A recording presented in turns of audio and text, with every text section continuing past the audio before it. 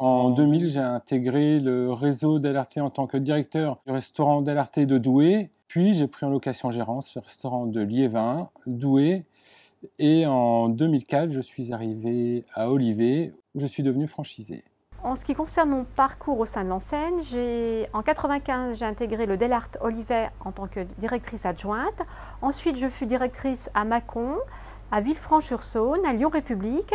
J'ai fait l'ouverture du restaurant Delart de Saint-Martin-les-Boulognes, ensuite celui de Villeneuve-d'Ascq, avant de passer franchisé en 2004 à Olivet. On a repris le restaurant en tant que locataire gérant parce que tout d'abord, on n'avait pas le financement pour investir, pour devenir euh, franchisé de suite. Donc, on a été locataire gérant durant deux ans et en 2006, on est devenu Le restaurant d'Olivet a 20 ans. Nous l'avons racheté en 2004. Nous l'avons rénové en 2005 en faisant une, une rénovation du style Twin. Ensuite, nous l'avons agrandi il y a trois ans en faisant un jardin d'hiver.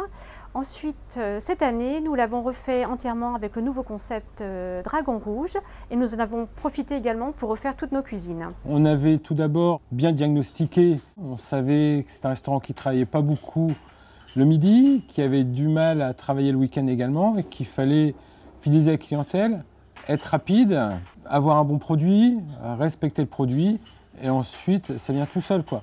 Pour nous, la satisfaction, c'est que notre clientèle du midi semaine vienne en famille le week-end. À partir de là, c'était gagné et euh, c'est comme ça, voilà. Avant tout, c'est la fidélisation de la clientèle. Pour l'organisation du restaurant, Jean-Lucien s'occupe de la partie salle, de son rôle de commerçant, et moi je m'occupe de la cuisine, de tout ce qui est gestion de l'entreprise.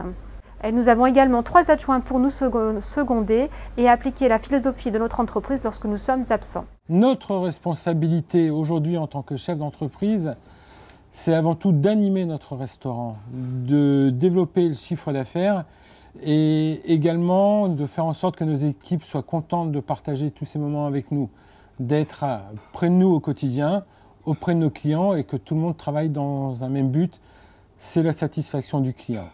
Les compétences qu'il faut mettre en avant au quotidien, c'est d'être un bon commerçant, d'aimer ce que l'on fait et d'avoir de bonnes qualités managériales.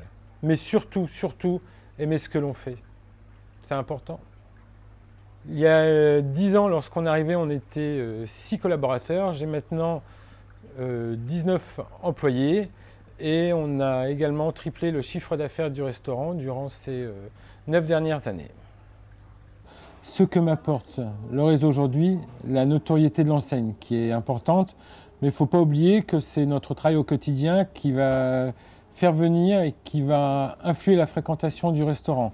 Deuxièmement, la sécurité alimentaire, qui est un point très important, notamment via la plateforme où tous les produits sont tracés. L'apport du réseau, c'est également la formation de nos collaborateurs, puisque via le service formation, des formations sont proposées tout au long de l'année à nos, collaborateurs, que ce soit sur la pizza, que ce soit en service ou pour nos adjoints via des formations de management. Moi, je travaille comme si je travaillais pour moi. Je profite de la notoriété de l'enseigne, c'est une chose, mais je travaille pour moi. À partir de là, je respecte tous les process, tout ce qui est mis en place, parce que c'est quelque chose qui nous plaît, c'est quelque chose qu'on aime, mais je veux qu'on vienne chez moi avant toute chose.